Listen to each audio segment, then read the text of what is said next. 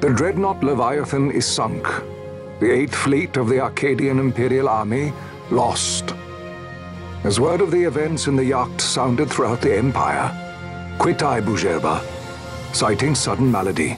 My true motive, to bring the various counter-imperial forces scattered throughout Ivalice together in unified resistance. By this time, Lady Ashe had made her return to Rabanastre. She had not, however, made known her presence.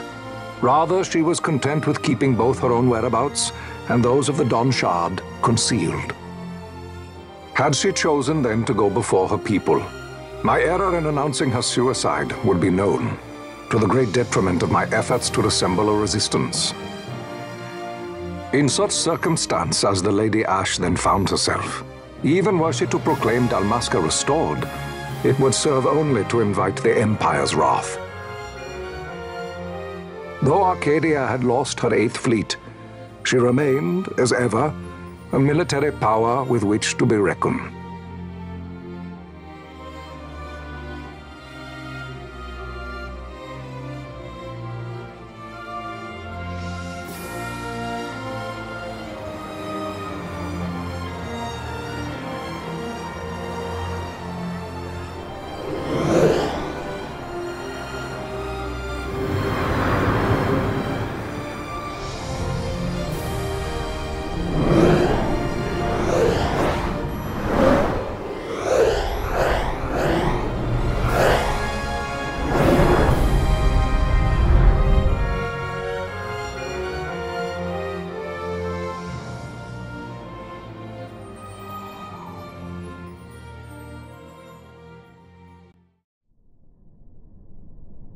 The Rozarrian Empire assembles a vast host under guise of martial exercises.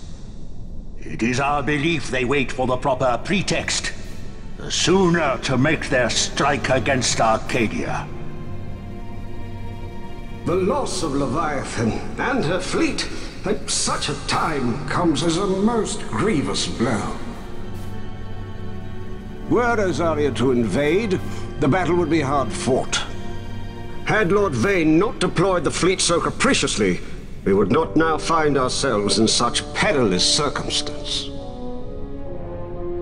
Lord Vayne shall be made to answer for his actions. It is the will of the Senate. Excellency, though he be your son, justice must be served. A convenient thing, justice. And so I must now make a choice between my throne and my son. A most lamentable situation for us all. Oh? For Lord Vayne, perhaps. Yet surely Lord Larsa will make for a fine emperor.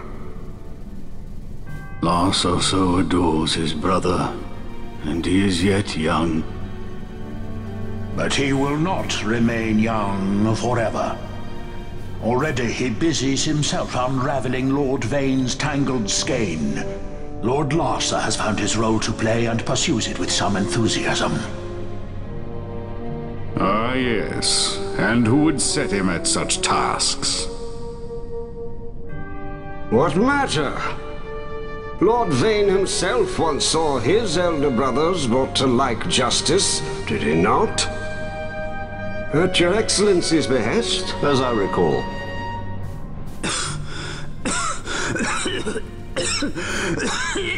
You may put yourself at ease, Lord Gramis. So long as the Senate watches over her, Archadia's well-being will ever be ensured. By your will, I shall bid Vayne return to Archades.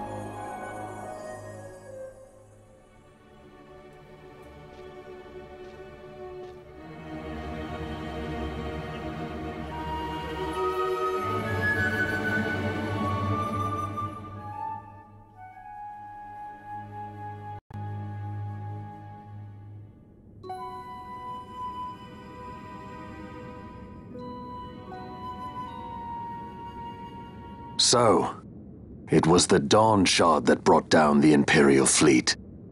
You know your stuff. Destructive power of such force. I've seen it once before. Lady Ashe, you know of what I speak.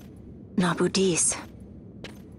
The capital of Old Nabradia, Lord Rasler's fatherland. At the time of the invasion, a division of Imperials entered the city.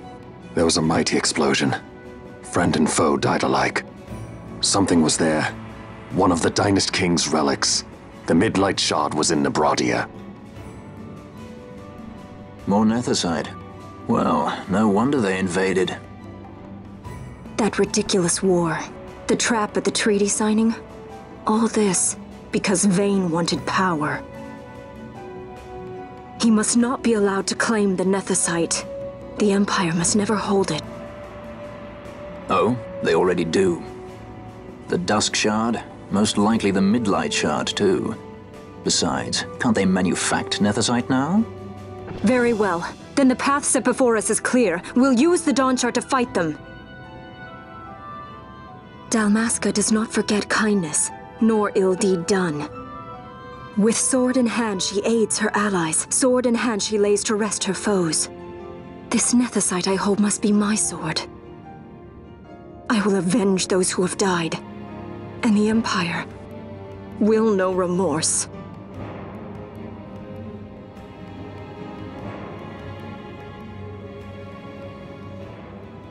You even know how to use it? I... The Garif may know. The Garif people live by the old ways. Magicite lore is a part of their culture. They may hear it, the cry of the Nethicite's power. Whispers of the stone's menace. Dangerous though it be, what we need now is power. Should we declare Dalmasca free without the means to defend our claim, the Empire would crush us. You must take me to meet with the Garif. They live beyond Ozmone Plain. Not exactly close. Compensation, is that what you want? Straight to the point, aren't we? I like that. Compensation. How about the ring? This? Isn't there something else? No one's forcing you.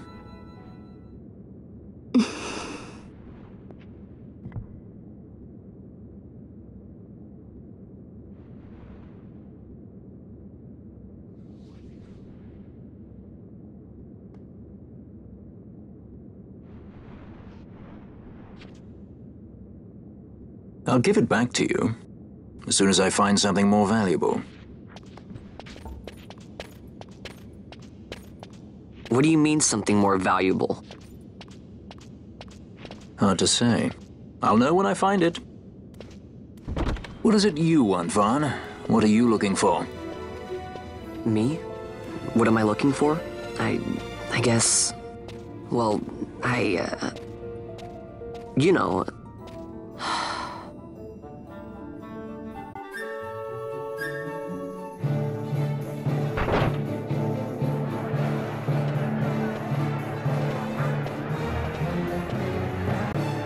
The Garif are said to dwell in Kirwan. So they do. We'll need to head south, past the Giza Plains. It is the rains now in Giza. The wadis will be swollen with the deluge. Passage may be difficult. But those same waters may also lay open new routes to us. Regardless, we must go south, yes?